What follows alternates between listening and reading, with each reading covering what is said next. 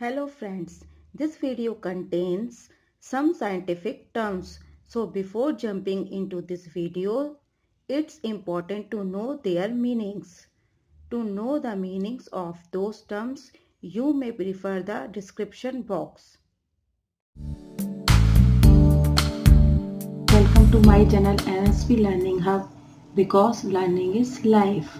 Myself Minakshi Ahuja. Hi friends, today we study about Gregor John Mendel, a great scientist. Gregor John Mendel was the first scientist to make a systematic study of patterns of inheritance which involve the transfer of characteristics from parents to progeny. He started his experiment on plant breeding and hybridization. He proposed the law of inheritance in living organisms. Plant selected by Mendel.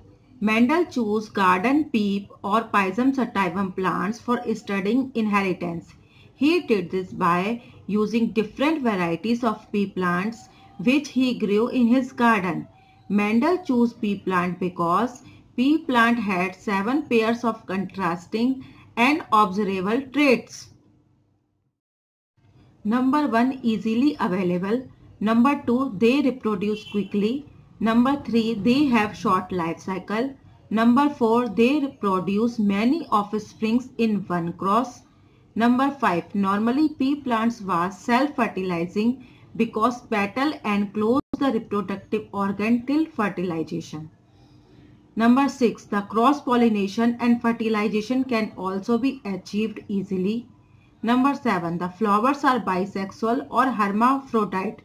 It means the male and female organs of the flowers are in the same flower. These are the seven contrasting characters. Number 1 seed shape, round shape and wrinkle shaped. Seed color yellow and green. Pod shape inflated and constricted. Pod color green or yellow. Flower color purple or white. Flower location axial or terminal plant size tall and short. Mendel experiments. The transmission of genetically controlled characteristics or traits from one generation to the next generation is known as inheritance. Mendel studied the inheritance of character or traits in various generations of pea plants cultivated by him. He conducted a series of experiments in which he crossed the pollinated plants to study. His experiments are divided into two groups such as monohybrid cross and dihybrid cross.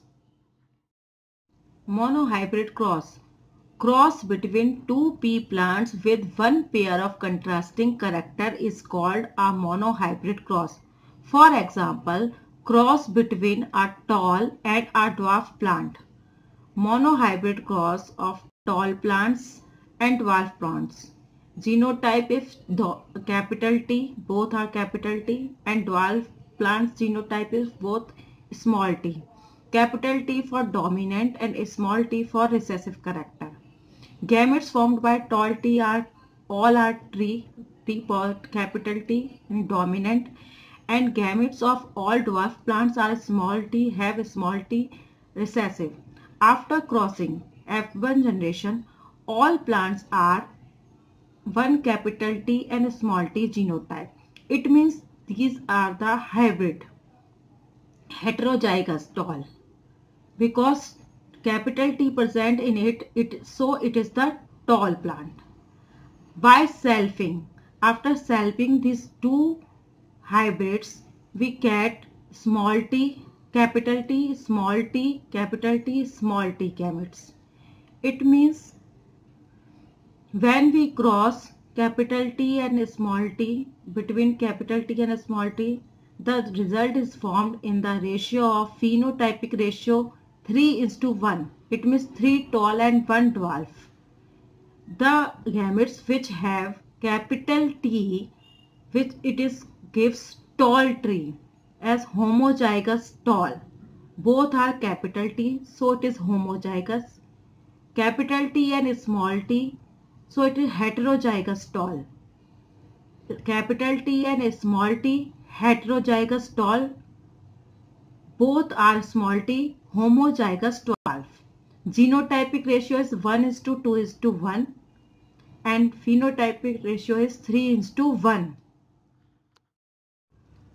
explanation of result of monohybrid inheritance Mendel said that each trait is determined by a pair of factor this means that the purebred tall T plants has two factors capital T and capital T for the trait of tallness and the purebred dwarf T plants have also has two factors of small t for the traits of dwarfness. The factor of inheritance of tallness both are capital T separate into gametes T and T capital T both and the factors of inheritance of dwarfness both are small t separate into two other gametes small t and small t. The traits are transmitted to progeny through these gametes. The gametes of tall pea plant then cross with the gametes of the dwarf pea plants by the process of fertilization to form zygote which then produce various progeny in the F1 generation which consist of all tall plants. In F1 generation, all the progeny plants have factor capital T as small t in which capital is the factor of tallness which is a dominant trait and small letter represent recessive trait of dwarfness which does not show up in the first generation in the presence of dominant trait T. This is known as the law of dominance by Mendel. It means in F1 generation only dominant traits are shown so it is called the law of dominance by Mendel in F1 generation. When two hybrids capital T as small t plants of F1 generations are crossed crossbred with each other then they will produce second generation of or F2 generation. This again happen by the separation of factors of inheritance of these tall plants into individual gametes and then crossing of the gametes during fertilization. In F2 generation, the plants produce have genotype or inheritance factor cap both are capital T capital T and small t and both are small t in the genotypic ratio 1 is to 2 is to 1 and the phenotypic ratio 3 is to 1 as we get 3 tall plants and 1 dwarf plant. The result of monohybrid cross enable Mendel to formulate formulate this law of inheritance which is called the law of segregation. According to this, the traits of an organism are determined by the internal factor which occur in pair. Only one of the pair of such factor can be present in a single gamete. It means each factor is segregate at the time of gamete formation in both F1 generation as well as in F2 generation in a monohybrid cross. This is called the second law of inheritance, the law of segregation. Dihybrid cross. A cross between two plants having two pairs of contrasting character is called dihybrid cross. For example, the cross between round yellow sheeted plant and wrinkled green sheeted plant. P generation means parental generation in which yellow and round are dominant and green and wrinkled is recessive. Yellow and round plant gives gamete which have genes uh, capital both are capital Y and R and it gives uh, it gives uh, both are recessive yellow and wrinkled green and wrinkled after crossing in F1 generation, all plants are yellow and round because they have dominant genes and it is the hybrids. After selfing these plants, we get 16 types of plants in F2 generation in the ratio of 9 is to 3 is to 3 is to 1.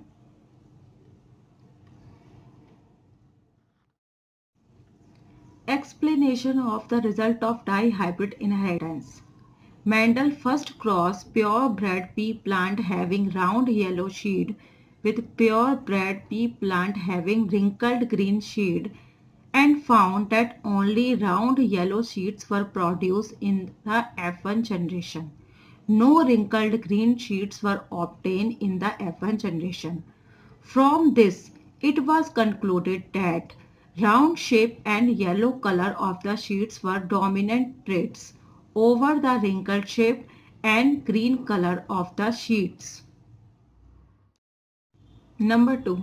When the F1 generation plants having round yellow seeds were crossbred by self-pollination, then four types of seeds having different combinations of shape and color were obtained in F2 generation.